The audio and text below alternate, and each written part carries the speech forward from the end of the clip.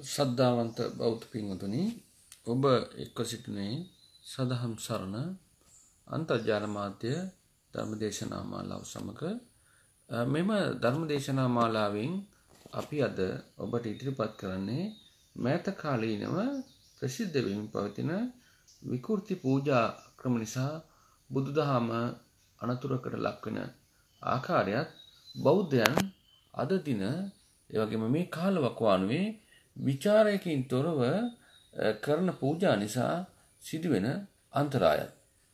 මෙහිදී අපි මතක් කරන්න ඕන දැන් අලුත් බෞද්ධ නිකායක් හැදිලා තියෙනවා.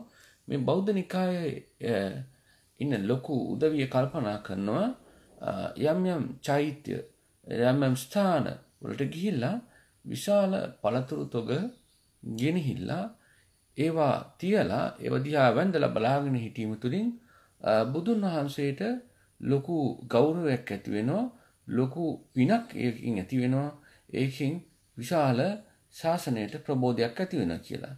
ප්‍රධාන වශයෙන්ම දේ තමයි මෙවැනි කවරව පූජාවකින් තමන්ට පිනක් අත්වෙනවා එක කිසිම සැකයක් නෑ. නමුත් යම්කිසි පූජාවක් පින්කමක් කිරීමේදී එහි අර්ථයක් තියෙන්න ඕන. අපි දන්න දෙයක් තමයි බුදුන් වහන්සේට අපි කවුරුත් බෞද්ධයෝ ගෞරව කරන එක ඒක ඒක සාතික. ඒ ගැන කිසිම සැකයක් නැහැ. නමුත් ඔය පළතුරු කඳු පූජාවලින් බුදුන් වහන්සේට එක ඇපල් පළුවක් එක කෙසෙල් ගෙඩියක් එක අන්නාසි පෙත්තක් වළඳන්න හැකියාවක් නැහැ. බුදුන් වහන්සේ අද නැති නිසා. නමුත් පන්සල් වල ඊටාම දුගී දුප්පත් ස්වාමින් වහන්සේලා ඉන්නවා. සමහර ස්වාමින් වහන්සේලා ඉන්නවා එක දාන වේලක් හොයාගන්න නැතුව. කැලෑවල සත්තු ඉන්න බඩගින්නේ අසරණව. ඒ ඉඳිද්දී මේ අසරණයන්ගේ දුක්ගිනි නොදැක තමන්ගේ මතු පින තමන්ගේ ප්‍රසිද්ධිය තමන්ගේ වර්ගේ නාමය වෙනුවෙන් කරන මේ පූජා විදිවලින් සිදුවෙන්නේ බුද්ධාගමට අතිවිශාල අනතුරක්. මක්නිසාදයක් පළවෙනි දේ තමයි බුදුන් වහන්සේ මෙවැනි අතිවිශාල සන්දර්ශනාත්මක පූජා ක්‍රම කරන්න කියලා කිසිම තැනක දේශනා කරපු විදියක් පේන්නේ නැහැ. ඒ වගේම මෙවැනි සන්දර්ශනාත්මක පූජා විදිවලින් අන්‍යාගමිකය කල්පනා කරනවා බුද්ධාගම කියන්නේ සංසාරික විමුක්තිය පිණිස ආත්මීය විමුක්තිය පිණිස තියෙන ආගමක් නෙවෙයි සන්දර්ශනාත්මක පූජා විදි තියෙන ගෝත්‍රික ආගමක් කියලා. බුදුදහම ගෝත්‍රික ආගමක් විදියට ජනප්‍රිය කිරීමේ උත්සාහයක් මේ තියෙන්නේ. බුදුදහම කියන්නේ බුද්ධියට මුල් තැන දෙන අවබෝධයට මුල් තැන දෙන ධර්මයක්. ඒ නිසා ප්‍රධාන කොටම අපි මේ ගෝත්‍රික පූජා විදිවලින් හැකිතාක් ඈත් වෙන්න ඕන. මම මෙවර අභියෝග 10ක් ඉදිරිපත් කරලා තියෙනවා පුවත්පත් මාර්ගයෙන් පුළුවන් නම් ඒ අභියෝග ඇවිල්ලා ඉදිරියට ওই ගෝත්‍රික පූජා කරන අලුත් නිකායවල ඉන්න ලොකු උදවිය මගෙත් එක තර්ක කළා මාව පරාජය කරන්න. හේතුව මෙයාකර අලුත් පූජාවිදි ප්‍රසිද්ධ කිරීමේ අරමුණ බුදුදහම කෑලි කෑලිවලට ඉඩලා කෑලි කෑලිවලට කඩලා තමන් ජනප්‍රිය වෙලා තමන්ගේ බඩ ගොස්තරය හදා ගැනීම. ඒක තමයි මේ කට්ටියගේ ප්‍රධාන අරමුණ. ගොඩක් දෙනෙක් කල්පනා කරනවා තමන් තනියම සංසාරයෙන් එතර වෙන්න මේක මේක අමාරු වැඩක්. ඒකට හේතුව තනියම සංසාරයෙන් එතර වෙන්න යද්දී තනියම පින්කම් කරන්නට යද්දී බුද්ධාගම අනතුරට වැටිලා බුද්ධාගම නැත්තට නැති වෙනවා. ඒ නිසා ප්‍රධාන වශයෙන්ම බෞද්ධයන්ගේ යුතුයකම බෞද්ධයන්ගේ වගකීම තමනුත් සංසාරයෙන් ඈතර වෙන්න උත්සාහ කළා අනිත් අයටත් උදව් උපකාර කළා ඒ වගේම අසරණ සත්වයන්ට අනුකම්පා කළා ඒ සත්‍යයන් ආරක්ෂා කරගන්නත් යම්කිසි වැඩපිළිවෙලක් සකස් කිරීම. දැන් උදාහරණයක් ඇටියට අපි දන්න දෙයක් තමයි දැන් පහුගිය දවස්වල සිංහරාජයේ ඉන්න අලි දෙන්න අල්ලන්න ලොකු මෙහෙමත් තිබුණා. බෞද්ධය ගැන ලොකුවට කතාව කරේ නෑ. ඇත්තටම මේ අලි මිනිස් ගැටුමට හේතු වෙන්නේ අලින්ට අයිති වනාන්තර භූමි අහිමිවීම. මේ වගේ ගැටලුවකදී තාම පහසුවෙන් අලි වැටක් යොදලා අලින් ආරක්ෂා කරගන්න පුළුවන්. වනාන්තරයක වටිනාකම තීරණය වෙන්නේ එහි ඉන්න විශාල සත්වයෝ අනුව.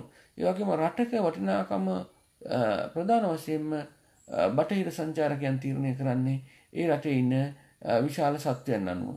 මෙවැනි විශාල සත්වයන් සිටීමෙන් වනාන්තරයක් එළිය වෙනවා වනාන්තරයක වටිනාකමක් තියෙනවා. ඒ වගේම වනාන්තරයේ අයිතිකරුවන් වෙන්නේ අලි ඇතුම් කොටි වලස්සු. ඒවා අපිට අයිති නෑ. අපිට අයිති නැති දේවල් අපි බලෙන් අයිති කරගන්න ගිහිල්ලා ඒ අහිංසක සත්තු උන්ට පීඩා කළා ඔවුන් අල්ලලා අනාථාගාරවල ගිහිල්ලා දානවා. මේ සම්පූර්ණයෙන්ම බුද්ධාගමට විරෝධී ඒ වගේම සත්ත්වහිංසාකාරී සිද්ධීන්. බෞද්ධයන් වශයෙන් මෙවැනි ක්‍රියාවන්ට තරයේ විරුද්ධ වෙන්න ඕන. ඒ වගේම බෞද්ධයන්ට තමන්ගේ එකමුතුවෙන් පුළුවන් මේ ලොකු පූජා කරන ඒ වියදම් වලින් ඒ අහිංසක මිනිසුත් අහිංසක සතුනුත් වෙන් කරලා අලි වැටක් හදලා දෙන්න. ඒ වගේම බෞද්ධයන්ට පුළුවන්කම තියෙනවා ඒ විශාල පූජා විධිවලට දෙන ඒ දානමාන ආදිය මේ අහිංසක බඩගිනින සතුන්ට ලබා දෙන්න. එහෙම ලබා දුන්නොත් අලි මිනිස් ගැටුම සම්පූර්ණයෙන්ම සදහටම නවතීවි. සතුන් මිනිසුන් අතර ගැටුම් සදහටම නවතීවි. ඒ නිසා මේ බුද්ධාගම නාමයෙන් කරන විකෘති පූජා විධි විකෘති දේවල් සම්පූර්ණයෙන්ම නවත්තන්න ඕන. අද අපිට දකින්න පුළුවන් බුද්ධාගම නමින් සම්පූර්ණයෙන්ම කරන්නේ විකෘති දේවල්.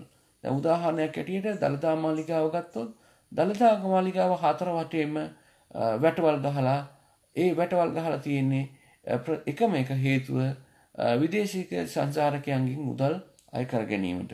අන්නේ විදේශික සංචාරකයන් මුදල් අය කර ගැනීමේ කවුන්ටර් වෙත යොමු කිරීම තමයි මෙහි අරමුණ. මේ හේතුව නිසා ප්‍රධාන වශයෙන්ම නුවර පාර කිලෝමීටර් දෙකක් විතර දිග වෙලා තියෙනවා. ඒ වගේම සම්පූර්ණ නුවර මහජනයාට තදබදයක් ඇතිලා තියෙනවා. මේ සියල්ලටම වගකිය යුත්තේ තමන්ගේ ආත්මාර්ථය පිණිස වැඩ කරන බෞද්ධ නායකයන්. ඔවුන්ට අවශ්‍යර තියෙන්නේ බුද්ධාගම මාකට් කල්ලා බුදුහාමුදුරුව මාකට් කල්ලා බුදුහාමුදුරුව විකුණල් හරි කමන්නේ තමන් දනවත් වෙන්න. විශේෂයෙන්ම මේ පූජනීය ස්ථානවලට එකතු වෙන මුදල් අවභාවිතය දෙන්නේ. මා ඒක හොඳාකාර හොඳාකාර දැනගන්න මේ සියලුම දේවල් තනිකරම සිද්ධ වෙන්නේ තම තමන්ගේ පරිහරණය පිණිස මුදල් එකතු කර ගැනීමටයි. එනිසා කවුරුත් මං වගකීමෙන් කියන්නේ මේ බුද්ධාගම අනතුරේ තියෙන කාලේ බුද්ධිමත්ව කටයුතු කරන්න.